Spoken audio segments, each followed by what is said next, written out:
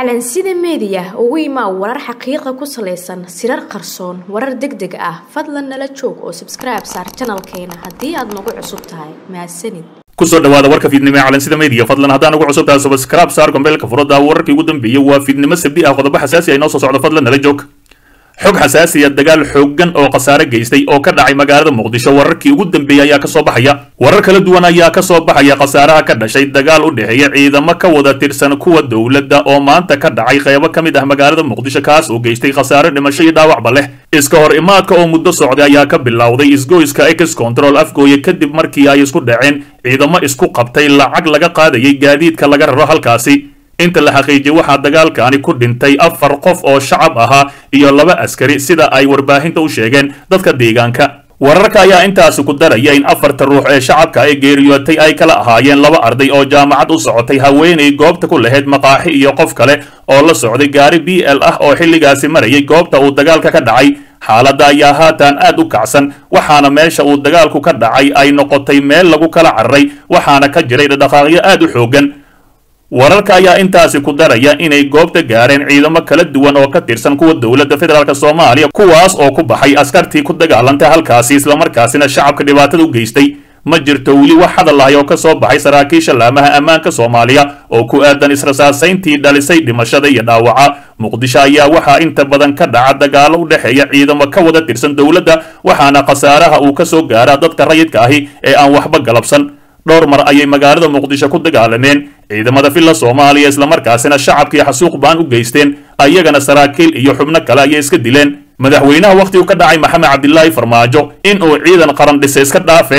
kuwii asiga ilaalinayay ayaa dhexdooda isdagaala dhinaca kale xog culus taliya xijaar oo hor istaagay rag musharaxiin u ahaa kursi xildhibaannimo warbaahinta ayaa heshay xog ah in la hor istaagay musharaxiin doonayay inay u tartamaan xildhibaannimada federaalk soomaaliya oo raadsaday.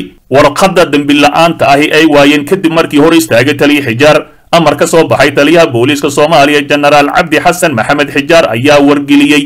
Hoggaanka waaxda dembi baarista ee c i d da inaysan dhiibin warqadda ay musharaxiinta u doonteen shakhsiyaad dhowr ahi oo tagay xerada c i d da muqdisho oo raadinaya sanadkaani xildhibaannimo ayaa la wargeliyey inaysan hadda heli karin warqadda ay raadinayeen. Saraakiisha qaar ee xaruntaasi ka howlgasha waxay sheegeen in amar sare la siiyey sidaa awgeedna aysan ogeyn xilliga la soo fasaxi doono ilaa iyo hadda ma jirto wax ka soo baxay taliya xijaar uu kaga hadlayo arrintaasi lagu eedeeyey ee musharaxiinta xildhibaannimada ka hor istaagay maadaama ay warqaddaasi raadsadeen. Qofka aan haysan warqad dembi la'aan ahi kama mid noqon karo tartamayaasha oo murashax walba qasab ku ah. Arrintaas sida habraaca la soo saaray ay ku qoran tahay dhinaca kale madaxweynaha dowlad goboleedka hirshabelle cali xuseen guudlaabe oo weli ku sugan degmada cadale ee gobolka shabeellada dhexe ayaa halkaasi waxa uu kulan kula qaatay maamulka gobolka shabeellada dhexe iyo kan degmada cadale madaxweynaha ayaa kulankaani uga mahad celiyey maamulka iyo bulshada degmada cadale soo dhoweyntii ay u sameeyeen isagii madaxweynayaashii hore dalka.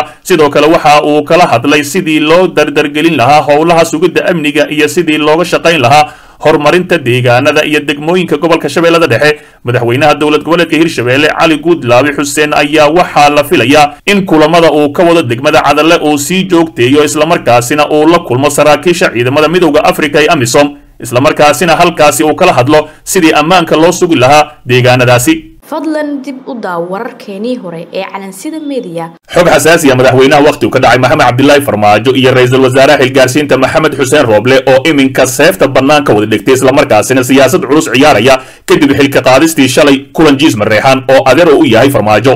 Farmaajo ayaa laga yaabaa inuu siyaasad culus la ciyaarayo jubbaland iyo puntland islamarkaasina uu adeegsanayo. Ra'iisul wasaaraha xilgaarsiinta maxamed xuseen rooble. Ra'iisul wasaaraha xukuumadda maxamed xuseen rooble ayaa shalay xilalka ka kala qaaday taliyaha nisa ee garoonka diyaaradaha aadan cadde cabdiwahaab sheikh cali iyo madaxa shaqaalaha nisa cabdulaahi aadan kulanjiis mareexaan kulanjiis mareexaan waxa uu ka soo jeedaa gobolka lagu muransan yahay habraaciisa doorashada ee gado waxaana la aaminsan yahay in uu ahaa mas'uulka labaad ee ugu awooda badan hay'adda nabad sugidda iyo sirdoonka soomaaliya marka laga soo tago fahad yaasiin dad badan ayaa soo dhoweeyey tallaabada uu qaaday rooble kuna macneeyey inay ka dhigan tahay inuu si buuxda gacanta ugu hayo awoodda dalka islamarkaasina la wiiqay. Madaxweynaha wakhtigu ka dhacay maxamed cabdilaahi farmaajo. Xubnaha soo dhoweeyey tallaabada rooble waxaa ka mid ah xildhibaan mahad salaad oo ka mid ah xildhibaanada ugu saamaynta badan mucaaradka kuna qeexay inay bilow u tahay tallaabooyin kale oo lagu taabagelinayo dowladnimada iyo in sharciga taliyo sida uu hadalka u dhigay mahad salaad ayaa sidoo kale sheegay inuu rajaynayo in tallaabadani uu qaaday rooble ay tahay digniin kama dambays ahi ee la siiyey taliyaha nisa fahad yaasiin si kastaba calansida meediya ayaa fahansan in go'aanka uu rooble xilka kaga qaaday labadaani sargaal si gaar ahna kulanjiis mareexaan ay guul siyaasadeed dadban oo gadaal ka soo bixi doonto u tahay. Madaxweynaha wakhtigu ka dhacay farmaajo xog lagu kalsoon yahay oo ay calansida meediya ka dhex heshay kooxda arrimaha doorashada ee madaxweynaha wakhtigu ka dhacay farmaajo ayaa xaqiijisay in tallaabada xilka qaadista kulanjiis mareexaan ay tahay qorshe uu farmaajo ka leeyahay.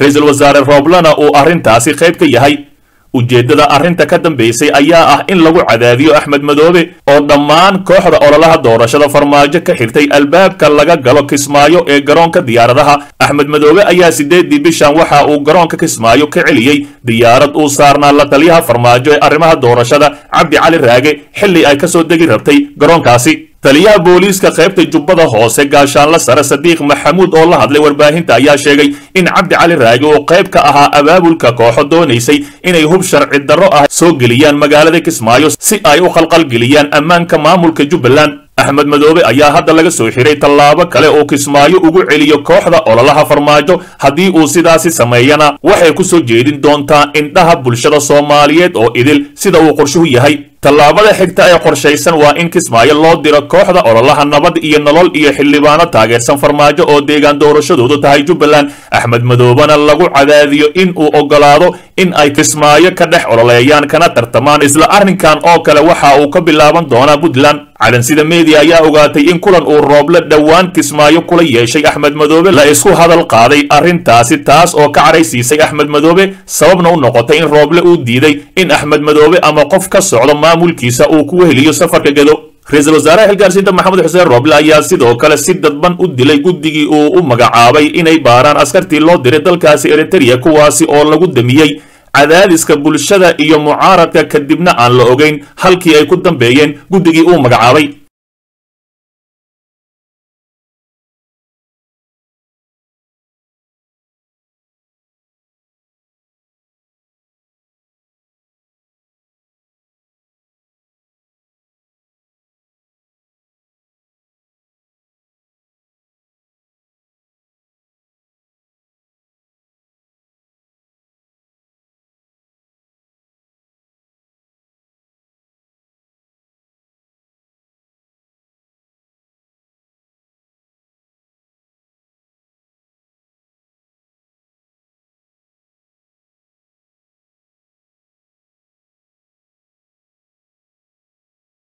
dhegaystow ogow haddaadan xalka qayb ka noqon waxaad qayb ka tahay dhibaatada dalka